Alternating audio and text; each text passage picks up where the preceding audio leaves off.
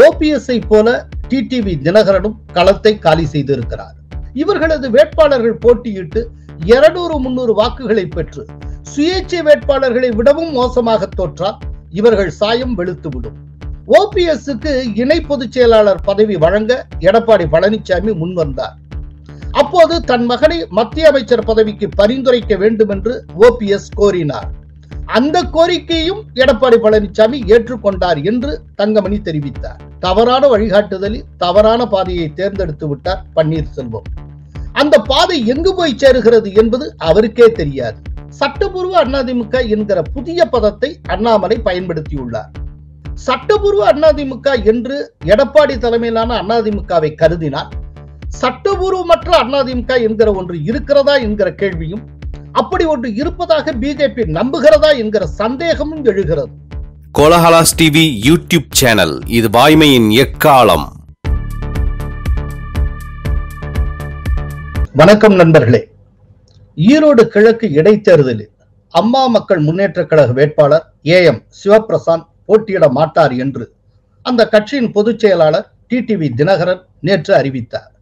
இதன் மூலம் ஓபிஎஸ்ஐ போல டிடிவி தினகரனும் களத்தை காலி செய்திருக்கிறார். பொது தேர்தலில் தங்களுக்கு ஒதுக்கிய பிரஷர் குக்கர் சின்னத்தை இடைத்தேர்தலுக்கு தேர்தல் ஆணையம் ஒதுக்காததால் அமமுக போட்டியிடவில்லை என்று டிடிவி தினகரன் காரணம் கூறியுள்ளார். இது தொடர்பாக அவர் வெளியிட்டிருக்கிற அறிக்கையில் என்ன கூறியிருக்கிறார் என்பதை பார்க்கலாம். ஈரோடு கிழக்கு சட்டப்பேரவை தொகுதிக்கான இடைத்தேர்தலில் கழக வேட்பாளர் அறிவிக்கப்பட்டு களத்தில் பரப்புரை பணிகள் முழுவீச்சில் மேற்கொள்ளப்பட்டு வருகின்றன. இந்த சூழலில் பதிவு செய்யப்பட்ட அரசியல் கட்சியான அம்மா மக்கள் முன்னேற்ற கழகத்துக்கு கடந்த சட்டப்பேரவை பொது தேர்தலில் ஒதுக்கப்பட்ட பிரஷர் குக்கர் சின்னத்தை இடைத்தேர்தல் காலங்களிலும் ஒதுக்கிட இயலாது என தலைமை தேர்தல் ஆணையம் எழுத்துப்பூர்வமாக தெரிவித்துள்ளது. நாடாளுமன்ற பொது தேர்தல் ஓராண்டு காலத்துக்குள் வர இருக்கும் சூழலில் புதியதோர் சின்னத்தில் ஈரோடு கிழக்கு இடைத்தேர்தலில் போட்டியிடுவது தேவையில்லாத குழப்பத்தை ஏற்படுத்தக்கூடும். ஆகவே வரவிருக்கிற நாடாளுமன்றம் மற்றும் சட்டமன்ற பொது தேர்தல்களில் நமது வெற்றி சின்னமான பிரஷர் குக்கர் சின்னத்தோடு தேர்தல்களை சந்திப்போம். இந்த இடைத்தேர்தலில் போட்டியிடுவதை தவிர்ப்பதே சரியாக இருக்கும் என்ற தலைமை கழக நிர்வாகிகளின் ஆலோசனையை கருத்தில் கொண்டு நடைபெறவுள்ள ஈரோடு கிழக்கு சட்டமன்ற தொகுதி இடைத்தேர்தலில் அம்மா மக்கள் முன்னேற்ற கழகம் போட்டியிடவில்லை என்பதை தெரிவித்துக் கொள்ளுகிறேன் என்று டிடிவி தினகரன் தெரிவித்துள்ளார். பிஜேபி நிற்கவில்லை எனில் என் வேட்பாளரை நிறுத்துவேன் என்று கூறிக்கொண்டிருந்த ஓ பன்னீர்செல்வமும் தொடக்கத்திலேயே தன் வேட்பாளரை அறிவித்த டிடிவி தினகரனும் தேர்தலை சந்திக்காமல் களத்திலிருந்து நழுவி இருக்கிறார்கள் இதற்கு இரண்டு காரணங்கள் உண்டு. ஒன்று தங்களுக்கு மக்கள் மத்தியில் எந்த செல்வாக்கும் கிடையாது என்பது இந்த இரண்டு தலைவர்களுக்கும் நன்றாக தெரியும். எடப்பாடியிடம் பூச்சாட்டி காட்டுவதற்காக வேட்பாளரை களமிறக்குவேன் என்று பயமுறுத்தி கொண்டிருந்தார்கள். ஆனால் எதுவும் நடக்கவில்லை. இவர்களது வேட்பாளர்கள் போட்டியிட்டு இருநூறு முன்னூறு வாக்குகளை பெற்று சுயேட்சை வேட்பாளர்களை விடவும் மோசமாக தோற்றால் இவர்கள் சாயம் வெளுத்துவிடும். அப்படி ஒரு நிலை ஏற்பட்டால் இவர்களது அரசியல் எதிர்காலம் கேள்விக்குறியாகிவிடும். இவர்கள் உயரம் இன்னும் அம்பலமாகிவிடும். இரண்டாவது காரணம் அதிமுக வேட்பாளர் நல்லபடியாக வாக்குகளை பெற்றாலோ அல்லது வென்றாலோ நாங்கள் எங்கள் வேட்பாளரை விலக்கிக் கொண்டதால் தான் அதிமுக வேட்பாளர் இவ்வளவு வாக்குகளை பெற்றார் என்று சொல்லிக் கொள்ள முடியும். இதற்கிடையே ஓ பன்னீர்செல்வம் வினோதமான ஒரு நிலைப்பாட்டை எடுத்திருக்கிறார். இரட்டை இலைக்கு ஓட்டு கேட்பேன் தென்னரசு பெயரை சொல்லி ஓட்டு கேட்க மாட்டேன் என்று முடிவெடுத்திருக்கிறார். அவரை ஓட்டு கேட்க அதிமுக அழைக்கவே இல்லை. என்றாலும் அழையா விருந்தாளியாக அவராக பிரச்சாரம் செய்ய முடிவெடுத்திருக்கிறார். இதற்கும் ஒரு காரணம் உண்டு.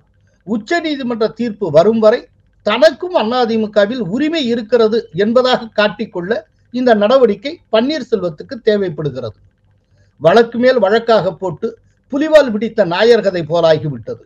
இதற்கு பேசாமல் எடப்பாடி தரப்பில் முதலில் தந்த வாய்ப்பை பயன்படுத்தி கொண்டு இணை பொதுச் செயலாளர் ஆகியிருக்கலாம் ஓபிஎஸ் ரெண்டாயிரத்தி இருபத்தி ரெண்டு அக்டோபர் மூணாம் தேதி நாமக்கல் மாவட்ட அதிமுக செயல் வீரர்கள் வீராங்கனைகள் ஆலோசனை கூட்டம் நாமக்கல்லில் நடைபெற்றது.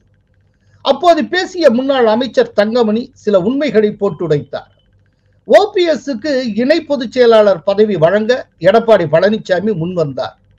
அப்போது தன் மகனை மத்திய அமைச்சர் பதவிக்கு பரிந்துரைக்க வேண்டும் என்று ஓபிஎஸ் கோரினார்.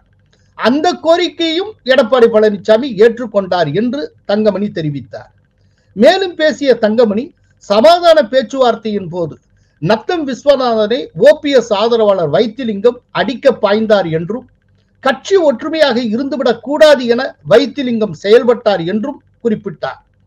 தவறான வழிகாட்டுதலில் தவறான பாதையை தேர்ந்தெடுத்து விட்டார் பன்னீர்செல்வம். அந்த பாதை எங்கு போய் சேருகிறது என்பது அவருக்கே தெரியாது.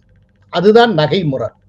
அண்மை காலத்தில் ஓபிஎஸ்ஐ போல அடையாள நெருக்கடியில் சிக்கிய ஒரு அரசியல்வாதியை நான் பார்க்கவில்லை. இதனிடையே வேட்புமனு தாக்கலின் கடைசி நாளான நேற்று அதிமுக வேட்பாளர் கே எஸ் தென்னரசு தன்னுடைய வேட்புமனுவை தேர்தல் நடத்தும் அலுவலர் கே சிவகுமாரிடம் தாக்கல் செய்தார். அதில் இரட்டை இலை சின்னத்தை ஒதுக்குவதற்கான படிவமும் இடம்பெற்றிருந்தது. தென்னரசுக்கு மாற்று வேட்பாளராக அவரது மனைவி பத்மினி தென்னரசு வேட்புமனு தாக்கல் செய்தார். வேட்புமனு தாக்கலின் போது அதிமுக முன்னாள் அமைச்சர் கே வி ராமலிங்கம் நிர்வாகிகள் மனோகரன் பாவை அருணாச்சலம் மற்றும் தமிழ் மாநில காங்கிரஸ் இளைஞரணி தலைவர் எம். யுவராஜா ஆகியோர் உடனிருந்தனர். அதிமுக வேட்பாளர் வேட்புமனு தாக்கல் செய்த போது பிஜேபியை சேர்ந்த எவரும் இல்லை.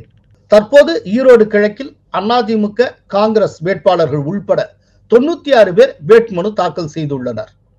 நேற்று ஒரே நாளில் முப்பத்தி ஏழு பேர் வேட்புமனு தாக்கல் செய்தனர். வேட்புமனுக்கள் மீதான பரிசீலனை இன்று நடைபெறும். வேட்புமனுக்களை வாபஸ் பெற வெள்ளிக்கிழமை கடைசி நாள். அன்றைய தினம் மாலை இறுதி வேட்பாளர் பட்டியல் வெளியாகும்.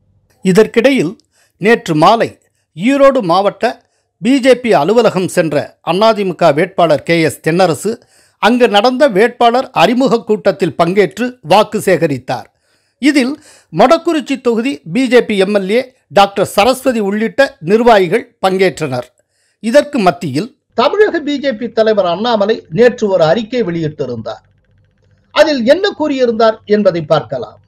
தேசிய ஜனநாயக கூட்டணி சார்பில் ஈரோடு கிழக்கு சட்டப்பேரவை தொகுதி இடைத்தேர்தலில் அதிமுக வேட்பாளராக இரட்டை இலை சின்னத்தில் போட்டியிடும் கே எஸ் தென்னரசு அவர்களுக்கு பாரதிய ஜனதா கட்சி தனது முழு ஆதரவை தெரிவிக்கிறது.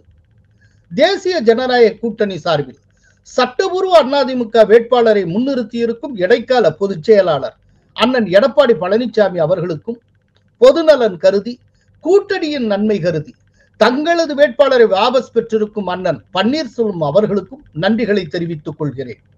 ஆளும் கட்சியின் அராஜகம் ஊழல் அத்துமீறல்களை தடுக்கவும் மக்களுக்கு கொடுத்த வாக்குறுதிகளில் எவற்றையும் நிறைவேற்ற முடியாமல் திணறிக் கொண்டிருக்கும் திமுக அரசை வீழ்த்தவும் நாம் அனைவரும் ஒன்றாக ஒரே அணியில் திரண்டிருக்கிறோம்.